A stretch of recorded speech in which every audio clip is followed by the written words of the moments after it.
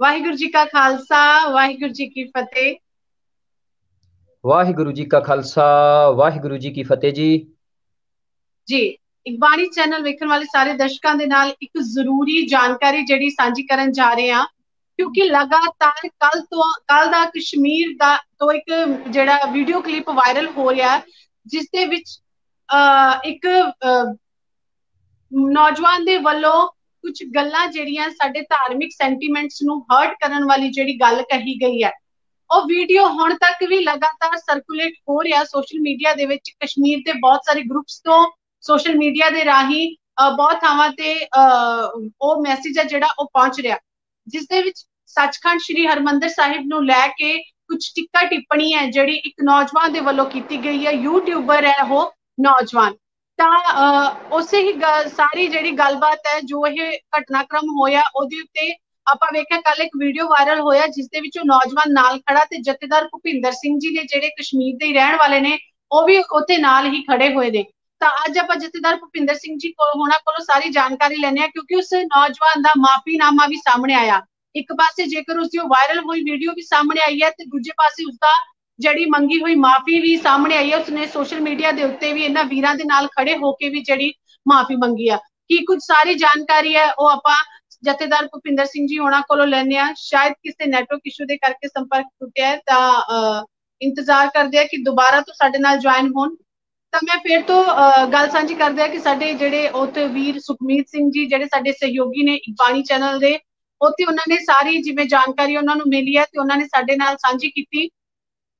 ਤਾਂ ਉਸ ਜਾਣਕਾਰੀ ਦੇ ਵਿੱਚ ਇਹ ਵੀ ਨਿਕਲ ਕੇ ਸਾਹਮਣੇ ਆਇਆ ਕਿ ਉਸ ਨੌਜਵਾਨ ਦੇ ਵੱਲੋਂ ਕੁਰੇਸ਼ੀ ਸ਼ਾਇਦ ਉਸ ਨੌਜਵਾਨ ਦੇ ਨਾਮ ਦੇ ਨਾਲ ਲੱਗਦਾ ਉਹ, ਉਹਦਾ ਇੱਕ YouTube ਪੇਜ ਵੀ ਹੈਗਾ।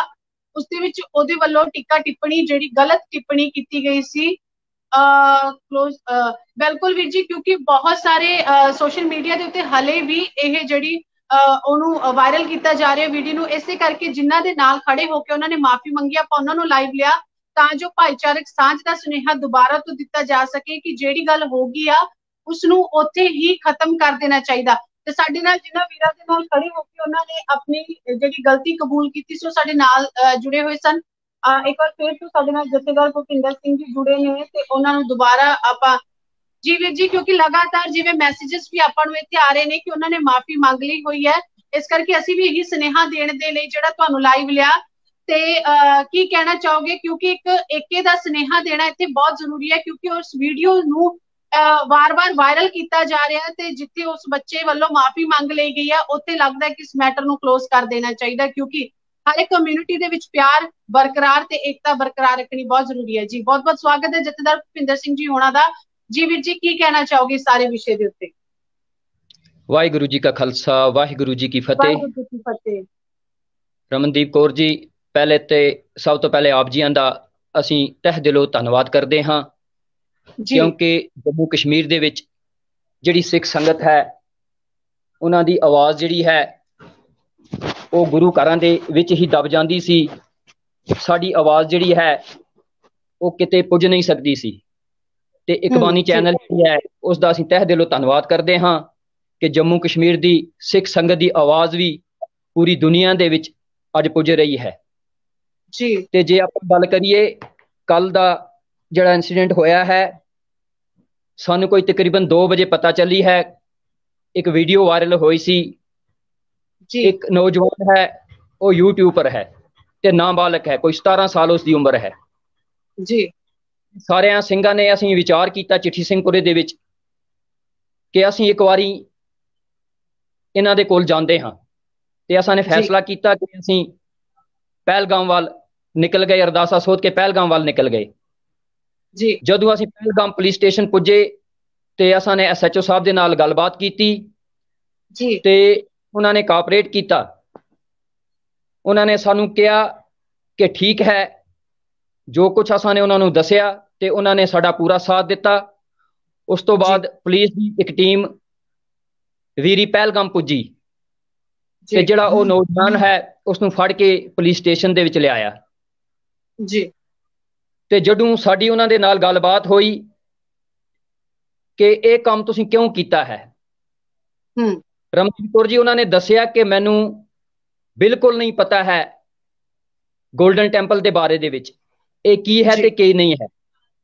ਕਿਉਂਕਿ ਉਹ ਨਾਬਾਲਗ ਬੱਚਾ ਸੀ ਇੱਕ ਪਸਮਾਂਦਾ ਇਲਾਕਾ ਹੈ ਜਿੱਥੇ ਉਹ ਰਹਿੰਦਾ ਹੈ। ਤੇ ਉਸਨੇ ਕਿਹਾ ਕਿ ਮੈਂ ਸਾਰੀ ਹੀ सरदार भाइयों से माफी मांगूंगा जिस तरह भी आप बोलोगे मेरे को ये पता नहीं था कि ये गोल्डन टेंपल क्या है ਫਿਰ ਸਾਰਿਆਂ ਵੀਰਾਂ ਨੇ ਫੈਸਲਾ ਕੀਤਾ ਕਿ ਇਹ ਜਦੋਂ ਮਾਫੀ ਮੰਗ ਰਿਹਾ ਹੈ ਤੇ ਅਸਾਂ ਨੂੰ ਇਸ ਨੂੰ ਮਾਫੀ ਦੇ ਦੇਣੀ ਚਾਹੀਦੀ ਹੈ ਫਿਰ ਅਸਾਂ ਨੇ ਅਨੰਤਨਾਗ ਦੀ ਸਿੱਖ ਸੰਗਤ ਜਿਹੜੀ ਹੈ ਉਹਨਾਂ ਦੇ ਨਾਲ ਵੀ ਕੰਟੈਕਟ ਕੀਤਾ ਉਹਨਾਂ ਨੂੰ ਅਸਾਂ ਪੁੱਛਿਆ ਕਿ ਇੱਕ ਨਾਬਾਲਗ ਬੱਚਾ ਹੈ ਇਸ ਤੋਂ ਗਲਤੀ ਹੋ ਗਈ ਹੈ ਅਣਜਾਣੇ ਦੇ ਵਿੱਚ ਗਲਤੀ ਹੋ ਗਈ ਹੈ। ਤੇ ਇਸ ਗੱਲ ਦੀ ਇਹ ਮਾਫੀ ਮੰਗ ਰਿਹਾ ਹੈ।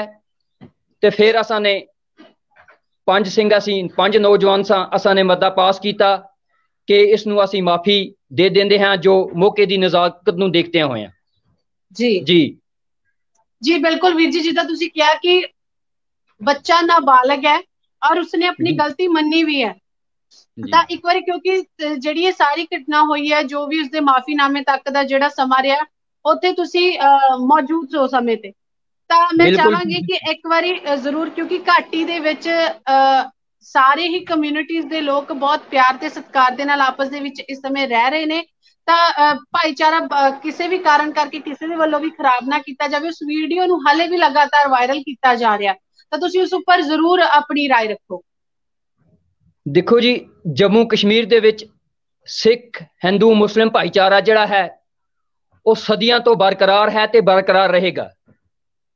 ਤੇ ਕੁਝ ਸ਼ਰਾਰਤੀ ਅੰਸਰ ਜਿਹੜੇ ਹਨ ਉਹ ਬਾਰ-ਬਾਰ ਇਸ ਭਾਈਚਾਰੇ ਨੂੰ ਜ਼ਖ ਪਹੁੰਚਾਉਣਾ ਚਾਹੁੰਦੇ ਹਨ। ਪਰ ਸਿੱਖ ਕਦੇ ਵੀ ਕਿਸੇ ਧਰਮ ਦੇ ਨਾਲ ਵੈਰ ਨਹੀਂ ਰੱਖਦਾ ਤੇ ਸਾਡਾ ਕਿਸੇ ਵੀ ਧਰਮ ਦੇ ਨਾਲ ਕੋਈ ਵੈਰ ਨਹੀਂ ਹੈ। ਜਿਹੜੀ ਘਟਨਾ ਕੱਲ ਵਾਪੀ ਹੈ ਕਿਉਂਕਿ ਸਿੱਖ ਨਾ ਕਿਸੇ ਤੋਂ ਡਰਦਾ ਹੈ ਤੇ ਨਾ ਕਿਸੇ ਨੂੰ ਡਰਾਉਂਦਾ ਹੈ। ਸਿੱਖ ਦਾ ਫਿਰ ਮਤਲਬ ਹੈ, ਸੂਰਾ ਸੋ ਪਹਿਚਾਨੀਏ ਜੋ ਲੜੇ ਦੀਨ ਕੇ ਹੇਤ, ਪੁਰਜਾ ਪੁਰਜਾ ਕਟ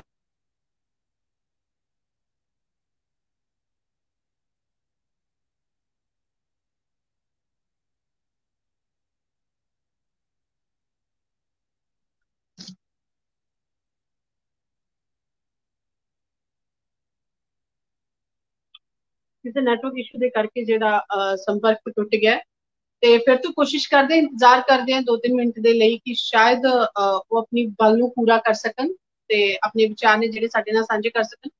ਤਾਂ ਜਥੇਦਾਰ ਭੁਪਿੰਦਰ ਸਿੰਘ ਜੀ ਉਹਨਾਂ ਨੂੰ ਅੱਜ ਲਾਈਵ ਲੈਂਡ ਦਾ ਮੇਰਾ ਇਹੀ ਮਕਸਦ ਸੀਗਾ ਕਿ ਕਿਉਂਕਿ ਵਾਰ-ਵਾਰ ਉਸ ਗੱਲ ਦੇ ਉੱਤੇ ਚਰਚਾ ਵਿਵਾਦਿਤ ਚਰਚਾ ਵੀ ਜਿਹੜੀ ਕੀਤੀ ਜਾ ਰਹੀ ਹੈ ਉਹਨਾਂ ਨੇ ਕਲੀਅਰ ਕੀਤਾ ਕਿ ਉਹ ਬੱਚਾ ਨਾਬਾਲਿਗ ਸੀ ਔਰ ਇੱਕ ਪਿੰਡ ਦਾ ਰਹਿਣ ਵਾਲਾ ਬੱਚਾ ਹੈ ਔਰ ਉਸਨੇ ਆਪਣੀ ਗਲਤੀ ਨੂੰ ਵੀਡੀਓ ਰਾਹੀਂ ਵੀ ਦੇਖਿਆ, ਆਪਾਂ ਉਹਨਾਂ ਨੇ ਕਿਹਾ ਕਿ ਅਸੀਂ ਉਹ ਸਿੱਖ ਧਰਮ ਦਾ ਸਤਿਕਾਰ ਕਰਦੇ ਨੇ, ਕਿਉਂਕਿ ਇਹ ਬਿਲਕੁਲ ਜੈਨੂਇਨ ਹੋ ਜਾਂਦਾ ਹੈ ਕਿ ਕਿਸੇ ਦੀਆਂ ਧਾਰਮਿਕ ਸੈਂਟੀਮੈਂਟਸ ਨੂੰ ਹਰਟ ਕਰਨ ਦਾ ਕਿਸੇ ਨੂੰ ਕੋਈ ਵੀ ਅਧਿਕਾਰ ਨਹੀਂ ਹੈਗਾ, ਕਿਉਂਕਿ ਅਸੀਂ ਭਾਰਤ ਦੇਸ਼ ਦੇ ਦੇਸ਼ ਦੇ ਵਾਸੀ ਆ ਤੇ ਇੱਕ ਸਾਡਾ ਗੁਲਦਸਤਾ ਜਿੱਥੇ ਸਾਰੇ ਹੀ ਧਰਮ ਬੜੇ ਆਦਰ ਮਾਣ ਸਤਿਕਾਰ ਦੇ ਨਾਲ ਆਪਸ ਦੇ ਵਿੱਚ ਮਿਲ ਜੁਲ ਕੇ ਰਹਿ ਰਹੇ ਨੇ, ਤਾਂ ਜਥੇਦਾਰ ਭੁਪਿੰਦਰ ਸਿੰਘ ਜੀ ਉਹਨਾਂ ਦੇ ਵੱਲੋਂ ਜਾਣਕਾਰੀ ਸਾਂਝੀ ਕੀਤੀ ਜਾ ਰਹੀ ਸੀਗੀ ਤੇ ਨੈਟਵਰਕ ਇਸ਼ੂ ਦੇ ਕਰਕੇ ਜਿਹੜਾ ਉਹ ਸਮੇਂ ਲਾਈਵ ਸੰਪਰਕ ਜਿਹੜਾ ਟੁੱਟ ਗਿਆ ਇੰਤਜ਼ਾਰ ਕਰਦੇ ਆ ਕਿ ਉਹ ਆਪਣੇ ਗੱਲ ਨੂੰ ਪੂਰਾ ਕਰ ਸਕਣ।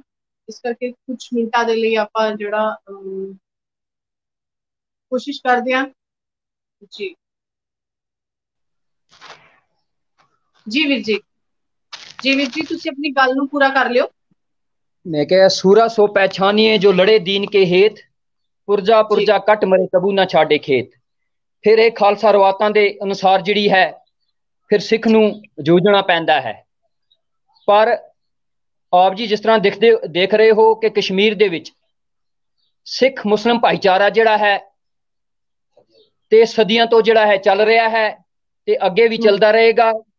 ਜਿਹੜੀ ਕੱਲ ਗੱਲ ਹੋਈ ਹੈ ਮੇਰੀ ਅਪੀਲ ਹੈ ਕਸ਼ਮੀਰ ਦੀ ਸਿੱਖ ਸੰਗਤ ਤੇ ਸਾਰੀ ਹੀ ਜਿੱਥੇ ਜਿੱਥੇ ਵੀ ਸਿੱਖ ਸੰਗਤ ਰਹਿ ਰਹੀ ਹੈ ਜਿਹੜਾ ਕੱਲ ਮੈਟਰ ਸੀ ਉਸ ਨੂੰ ਸੰਗਤ ਨੇ ਬੜੇ ਸਜਗਜੇ ਤਰੀਕੇ ਦੇ ਨਾਲ ਸ਼ਾਰਟ ਆਊਟ ਕਰ ਦਿੱਤਾ ਹੈ, ਸੋ ਮੇਰੀ ਸਾਰੀ ਹੀ ਸੰਗਤ ਕੋਲ ਅਪੀਲ ਹੈ ਕਿ ਇਸ ਮਸਲੇ ਨੂੰ ਹੁਣ ਅਸੀਂ ਇੱਥੇ ਹੀ ਖਤਮ ਕਰਨਾ ਹੈ, ਕਿਉਂਕਿ ਜਿਹੜੀਆਂ ਸੋਸ਼ਲ ਮੀਡੀਆ ਤੇ ਕੁਝ ਲੋਕ ਜਿਹੜੇ ਗਲਤ ਅਫਵਾਹਾਂ ਫੈਲਾ ਰਹੇ ਨੇ, ਉਹਨਾਂ ਕੋਲ ਹੀ ਅਪੀਲ ਹੈ ਕਿ ਜਿਹੜਾ ਸਿੱਖ ਮੁਸਲਮ ਭਾਈਚਾਰਾ ਜੰਮੂ ਕਸ਼ਮੀਰ ਦੇ ਵਿੱਚ ਹੈ, ਉਹ ਸਦੀਆਂ ਤੋਂ ਰਿਹਾ ਹੈ ਤੇ ਅੱਗੇ ਵੀ ਰਹੇਗਾ। ਸੋ ਮੇਰੀ ਅਪੀਲ ਹੈ ਕਿ ਜਿਹੜੇ ਸਾਰੇ ਧਾਰਮਿਕ ਸਥਾਨ ਹਨ ਜੇ ਉਹਨਾਂ ਦੇ ਬਾਰੇ ਵਿੱਚ ਕੋਈ ਗਲਤ ਕਵੇ ਤੇ ਸਿੱਖ ਕਦੇ ਬਰਦਾਸ਼ਤ ਨਹੀਂ ਕਰ ਸਕਦਾ ਮਰਕਲ ਦਾ ਜਿਹੜਾ ਮਸਲਾ ਸੀ ਉਹ ਨਾਬਾਲਗ ਬੱਚਾ ਸੀ ਉਸ ਨੂੰ ਇਸ ਬਾਰੇ ਦੇ ਵਿੱਚ ਕੋਈ ਪਤਾ ਨਹੀਂ ਸੀ ਇਸ ਕਰਕੇ ਸਿੱਖ ਸੰਗਤਾਂ ਨੇ ਫੈਸਲਾ ਕੀਤਾ ਕਿ ਇਸ ਨੂੰ ਮਾਫੀ ਦਿੱਤੀ ਜਾਵੇ ਸੋ ਸਾਰੀਆਂ ਸੰਗਤਾਂ ਦੇ ਨਾਲ ਸਲਾਹ مشورہ ਕਰਕੇ ਉਹਨਾਂ ਨਾਲ ਉਹਨਾਂ ਨੂੰ ਅਸੀਂ ਮਾਫੀਨਾਮਾ ਜਿਹੜਾ ਹੈ ਉਹ ਲੈ ਲਿਆ ਹੈ ਤੇ ਉਹਨਾਂ ਨੇ ਜਿਹੜਾ ਯੂਟਿਊਬਰ ਹੈ, ਉਸਨੇ ਆਪਣੇ YouTube ਤੇ ਵੀ ਸਿੱਖ ਸੰਗਤ ਦੇ ਕੋਲੋਂ ਮਾਫੀ ਮੰਗ ਲਈ ਹੈ ਜੀ। ਜੀ, ਬਿਲਕੁਲ ਵੀਰ ਜੀ, ਕਿਉਂਕਿ ਲਗਾਤਾਰ ਜੇਕਰ ਇਸ ਵੀਡੀਓ ਨੂੰ ਜ਼ਿਆਦਾ ਵਾਇਰਲ ਕਰਦੇ ਆ ਜਾਂ ਕਿਹਾ ਜਾਂਦਾ ਹੈ ਕਿ ਇਸ ਗੱਲ ਦੇ ਉੱਤੇ ਸਾਰੇ ਹੀ, ਸਾਰੇ ਦੇ ਸਾਡੇ ਸੈਂਟੀਮੈਂਟਸ ਹਰਟ ਹੋਏ ਨੇ, ਲੇਕਿਨ ਉਸ ਬੱਚੇ ਦੇ ਮਾਫੀ ਮੰਗਣ ਨਾਲ ਇਹ ਦੂਸਰਿਆਂ ਨੂੰ ਵੀ ਇੱਕ ਮੈਸੇਜ ਕਿਹਾ ਹੈ ਕਿ ਅਸੀਂ ਕਿਸੇ ਵੀ ਧਰਮ ਦੇ ਜਿਹੜੇ ਸੈਂਟੀਮੈਂਟਸ ਨੂੰ ਹਰਟ ਕਰਨ ਦਾ ਸਾਡਾ ਕੋਈ ਹੱਕ ਨਹੀਂ ਹੈ। ਕਿਉਂਕਿ ਵੀਰ ਜੀ, ਸਾਡੇ ਕੋਲ ਵੀ ਉਹ ਵੀਡੀਓ ਹੈ, ਉਸ ਤਰ੍ਹਾਂ ਦੀਆਂ ਬਹੁਤ ਸਾਰੀਆਂ ਵੀਡੀਓ ਸਾਡੇ ਕੋਲ ਕੱਲ ਦੀਆਂ ਆ ਚੁੱਕੀਆਂ ਨੇ। ਲੇਕਿਨ ਅਸੀਂ ਕਹਿੰਨੇ ਕਿਸੇ ਤਰ੍ਹਾਂ ਦੀ ਕੋਈ ਵਾਇਲੇਸ਼ਨ ਨਾ ਹੋਵੇ, ਕਿਸੇ ਦੀਆਂ ਵੀ ਭਾਵਨਾਵਾਂ ਨੂੰ ਠੇਸ ਨਾ ਪਹੁੰਚੇ, ਇਸ ਕਰਕੇ ਅਸੀਂ ਉਸ ਵੀਡੀਓ ਨੂੰ ਸਰਕੂਲੇਟ ਨਹੀਂ ਕਰ ਰਹੇ ਹਾਂ ਕੱਲ ਤੋਂ ਹੀ। ਲੇਕਿਨ ਹਾਂ, ਸਾਡੀ ਫਰਜ਼ ਇਹ ਹੁੰਦਾ ਕਿ ਇੱਕ ਚੰਗਾ ਮੈਸੇਜ ਸਮਾਜ ਦੇ ਵਿੱਚ ਪਹੁੰਚਾਈਏ, ਜਿਵੇਂ ਤੁਸੀਂ ਆਪਣੇ ਕੰਮਕਾਜ ਰੁਝੇਵਿਆਂ ਦੇ ਵਿੱਚੋਂ ਵੀ ਸਾਨੂੰ ਸਮਾਂ ਦਿੱਤਾ, ਕਿਉਂਕਿ ਤੁਹਾਨੂੰ ਪਤਾ ਸੀਗਾ ਕਿ ਇਹ ਗੱਲ ਕੌਮ ਤੱਕ ਪਹੁੰਚਣੀ, ਸਮਾਜ ਵਿੱਚ ਪਹੁੰਚਣੀ ਬਹੁਤ ਜ਼ਰੂਰੀ ਹੈ। ਜਿਸ ਦੇ ਕਰਕੇ ਇੱਕ ਸਹੀ ਸੁਨੇਹਾ ਸਮਾਜ ਦੇ ਵਿੱਚ ਜਾਵੇ। ਜਿਵੇਂ ਚਾਹਾਂਗੀ ਕਿ ਅਖੀਰ ਤੁਸੀਂ ਇੱਕ ਸੁਨੇਹਾ ਸੰਗਤ ਦੇ ਨਾਲ ਸਾਂਝਾ ਕਰ ਦਿਓ। ਦੇਖੋ ਜੀ ਸੰਗਤ ਦੇ ਨਾਲ ਇੱਕ ਸੜਿਆ ਉਹ ਕਹੇ ਕਿ ਸਾਡਾ ਭਾਈਚਾਰਾ ਜਿਹੜਾ ਹੈ ਉਹ ਕਾਇਮ ਦਾਇਮ ਰਹਿਣਾ ਚਾਹੀਦਾ ਹੈ। ਕਿਉਂਕਿ ਜੰਮੂ ਕਸ਼ਮੀਰ ਦੀ ਜਿਹੜੀ ਸਿੱਖ ਸੰਗਤ ਹੈ ਖਾਸ ਕਰ ਕਸ਼ਮੀਰ ਦੀ ਸੰਗਤ ਉਹ ਕਾਫੀ ਸਮੇਂ ਤੋਂ ਕਾਫੀਆਂ ਕਾਫੀ ਘਟਨਾਵਾਂ ਵੀ ਹੋਈਆਂ ਹਨ ਜਿਸ ਵਿੱਚ ਅਸੀਂ ਡਿਸਟਰਬ ਰਹੇ ਹਾਂ। ਤੇ ਮੇਰੀ ਅਪੀਲ ਹੈ ਸਿੱਖ ਸੰਗਤ ਵਿਸ਼ੇਸ਼ ਤੌਰ ਤੇ ਨੌਜਵਾਨਾਂ ਦੇ ਕੋਲ ਕਿ ਗੱਲ ਨੂੰ ਚੰਗੇ ਤਰੀਕੇ ਸਮਝਿਆ ਜਾਵੇ। ਜਿਹੜੀ ਗੱਲ ਅਸੀਂ ਕਰਨੀ ਹੈ ਉਸ ਨੂੰ ਪਹਿਲੇ ਦੇਖਣਾ ਹੈ ਕਿ ਜਿਹੜੇ ਸਾਡੇ ਮਸਲੇ ਹਨ ਇਹਨਾਂ ਨੂੰ ਅਸੀਂ ਅੱਗੇ ਕਿਸ ਤਰ੍ਹਾਂ ਦੀ ਭਜਾਣਾ ਹੈ। ਕਿਉਂਕਿ ਕਾਨੂੰਨੀ ਰਾਜ ਜਿਹੜੀ ਹੈ ਉਹ ਬਹੁਤ ਜ਼ਰੂਰੀ ਹੈ ਤੇ ਕਾਨੂੰਨੀ ਰਾਜ ਜਿਹੜੀ ਹੈ ਅਸਾਂ ਨੇ ਕੱਲ ਉਹ ਲਈ ਹੈ ਕਿਉਂਕਿ ਅਸੀਂ ਕੰਟੀਨਿਊ 5 ਘੰਟੇ ਤੱਕ ਪਹਿਲਗਾਮ ਥਾਣੇ ਦੇ ਵਿੱਚ ਰਹੇ ਹਾਂ ਤੇ ਸਾਰੀ ਸਿੱਖ ਸੰਗਤ ਨੂੰ ਅਸੀਂ ਅਪੀਲ ਕੀਤੀ ਹੈ ਕਿ ਤੁਹਾਨੂੰ ਪਹਿਲਗਾਮ ਆਉਣ ਦੀ ਕੋਈ ਜ਼ਰੂਰਤ ਨਹੀਂ ਹੈ ਅਸੀਂ ਮਸਲਾ ਜਿਹੜਾ ਹੈ ਹੱਲ ਕਰ ਲਿਆ ਹੈ। ਬੜੇ ਚੰਗੇ ਤਰੀਕੇ ਦੇ ਨਾਲ ਕਿਉਂਕਿ ਸਾਡੀ ਜਿਹੜੀ ਡਿਸਟ੍ਰਿਕਟ ਕਮੇਟੀ ਅਨੰਤਨਾਗ ਹੈ ਸਾਡੀ ਉਹਨਾਂ ਨੇ ਨਾਲ ਵੀ ਗੱਲਬਾਤ ਹੋ ਰਹੀ ਸੀ ਤੇ ਉਹਨਾਂ ਨੇ ਵੀ ਇਹੋ ਸਲਾਹ ਦਿੱਤੀ ਹੈ ਸਾਨੂੰ ਕਿ ਮਾਫੀਨਾਮਾ ਬਹੁਤ ਜ਼ਰੂਰੀ ਹੈ ਜਿਹੜੀ ਗੱਲ ਹੋ ਗਈ ਹੈ ਉਸ ਨੂੰ ਹੁਣ ਅੱਗੇ ਅਸੀਂ ਨਹੀਂ ਵਧਾਣਾ ਜੀ। ਜੀ ਵੀਰ ਜੀ ਬਹੁਤ ਬਹੁਤ ਧੰਨਵਾਦ ਤੁਹਾਡਾ ਸਾਰੀ ਜਾਣਕਾਰੀ ਸਾਂਝੀ ਕਰਨ ਦੇ ਲਈ। ਇੱਕ ਪੋਜ਼ਿਟਿਵ ਸੁਨੇਹਾ ਤੁਸੀਂ ਸਮਾਜ ਨੂੰ ਦਿੱਤਾ ਹੈ। ਔਰ ਇਦਾਂ ਦੇ ਸੁਲਝੇ ਹੋਏ ਵਿਅਕਤੀਆਂ ਦੀ ਬਹੁਤ ਜ਼ਰੂਰਤ ਹੈ ਜਿਹੜੇ ਮਸਲਿਆਤਾਂ ਨੂੰ ਸ਼ਾਂਤਮਈ ਤਰੀਕੇ ਦੇ ਨਾਲ ਜਿਹੜੇ ਮਸਲੇ ਸੁਲਝਾਏ ਜਾ ਸਕਦੇ ਉਹਨਾਂ ਨੂੰ ਸ਼ਾਂਤਮਈ ਤਰੀਕੇ ਦੇ ਨਾਲ ਸੁਲਝਾਇਆ ਜਾਵੇ ਜਿਵੇਂ ਕਿ ਤੁਸੀਂ ਇਹ ਸੁਨੇਹਾ ਸਮਾਜ ਨੂੰ ਦਿੱਤਾ। ਬਹੁਤ ਬਹੁਤ ਧੰਨਵਾਦ ਵੀਰ ਜੀ ਤੁਹਾਡਾ। ਆਪ ਜੀ ਆਪ ਜੀ ਜਾਣ ਆਪ ਜੀ ਜਾਣਦੇ ਹੋ ਕਿ ਅਸੀਂ ਪਿਛਲੇ 1 ਸਾਲ ਤੋਂ ਬਰਥਨਾ ਦੇ ਵਿੱਚ ਸਾ ਬਰਥਨਾ ਮੋਰਚਾ ਜਿਹੜਾ ਅਸੀਂ ਗੜਿਆ ਸੀ ਤੁਹਾਨੂੰ ਪਤਾ ਹੈ। ਉਹ ਜੰਮੂ ਕਸ਼ਮੀਰ ਦੇ ਵਿੱਚ ਇੱਕ ਬਹੁਤ ਵੱਡਾ ਧਰਮ ਯੁੱਧ ਮੋਰਚਾ ਸੀ ਜਿਹੜਾ 47 ਤੋਂ ਬਾਅਦ ਲੱਗਿਆ ਹੈ। ਆਕਾਸ਼ੀ ਕਨਾਲ 7 ਮਰਲੇ ਜ਼ਮੀਨ ਜਿਹੜੀ ਹੈ ਉਹ ਸਾਡੇ ਕਬਜ਼ੇ ਦੇ ਵਿੱਚ ਹੋਈ ਹੈ ਕਿਉਂਕਿ ਉਸ ਵਿੱਚ ਪੂਰੀ ਜੰਮੂ ਕਸ਼ਮੀਰ ਦੀ ਸਿੱਖ ਸੰਗਤਾਂ ਦਾ ਸਾਥ ਸੀ। ਇਸੇ ਤਣੀਆਂ ਸਾਨੂੰ ਚਾਹੀਦਾ ਹੈ ਕਿ ਹਮੇਸ਼ਾ ਜਿਹੜੀ ਸਿੱਖ ਸੰਗਤ ਜੰਮੂ ਕਸ਼ਮੀਰ ਦੀ ਹੈ ਆਪਸ ਵਿੱਚ ਪਿਆਰ ਮੁਹੱਬਤ ਰੱਖੇ ਕਿਉਂਕਿ ਡਿਸਟ੍ਰਿਕਟ ਕਮੇਟੀਆਂ ਦੇ ਜਿਹੜੇ ਇਲੈਕਸ਼ਨ ਤੁਹਾਨੂੰ ਪਤਾ ਹੈ ਉਹ ਪਿਛਲੇ 2 ਦਿਨ ਤੋਂ ਹਟੇ ਨੇ ਤੇ ਮੇਰੀ ਸਾਰੀ ਹੀ ਡਿਸਟ੍ਰਿਕਟ ਕਮੇਟੀਆਂ ਦੇ ਕੋਲ ਅਪੀਲ ਹੈ ਕਿ ਸਾਰੇ ਹੀ ਆਪਸ ਦੇ ਵਿੱਚ ਮਿਲ ਜੁਲ ਕੇ ਜਿਹੜੇ ਸਾਡੇ ਗੁਰੂ ਘਰਾਂ ਦੇ ਪ੍ਰਬੰਧਕ ਪ੍ਰਬੰਧ ਹਨ ਉਹਨਾਂ ਨੂੰ ਚੰਗੇ ਤਰੀਕੇ ਸੰਭਾਲਿਆ ਜਾਵੇ ਉਹਨਾਂ ਦੀ ਸੰਭਾਲ ਕੀਤੀ ਜਾਵੇ ਜਿਹੜੀ ਗੁਰੂ ਤਨ ਗੁਰੂ ਜਿਹੜੇ ਸਾਡੇ ਗੁਰੂ ਘਰ ਹਨ ਉਹਨਾਂ ਦੀ ਜਿਹੜੀ ਪ੍ਰਾਪਰਟੀ ਹੈ ਉਸ ਨੂੰ ਚੰਗੇ ਤਰੀਕੇ ਚੰਗੇ ਸੱਜਜੇ ਤਰੀਕੇ ਦੇ ਨਾਲ ਦੇਖਿਆ ਜਾਵੇ ਤੇ ਸਾਰੇ ਹੀ ਮਿਲ ਜੁਲ ਕੇ ਕੌਮ ਨੂੰ ਅੱਗੇ ਵਧਾਉਣ ਦੀ ਕਿਰਪਾਲਤਾ ਕਰਨ ਜੀ। ਜੀ ਬਹੁਤ ਬਹੁਤ ਧੰਨਵਾਦ ਵੀਰ ਜੀ। ਸੁਨੇਹਾ ਪੋਜ਼ਿਟਿਵ ਚੰਗਾ ਸੁਨੇਹਾ ਸਿੱਖ ਸੰਗਤ ਨੂੰ ਤੇ ਸਮਾਜ ਨੂੰ ਦੇਣ ਦੇ ਲਈ ਮੈਂ ਬਹੁਤ ਬਹੁਤ ਧੰਨਵਾਦ ਕਰਦੀ ਹਾਂ ਜੀ ਆਪ ਜੀ ਦਾ। ਵਾਹਿਗੁਰੂ ਜੀ ਕਾ ਖਾਲਸਾ, ਵਾਹਿਗੁਰੂ ਜੀ ਕੀ ਫਤਿਹ। ਵਾਹਿਗੁਰੂ ਜੀ ਕੀ ਫਤਿਹ।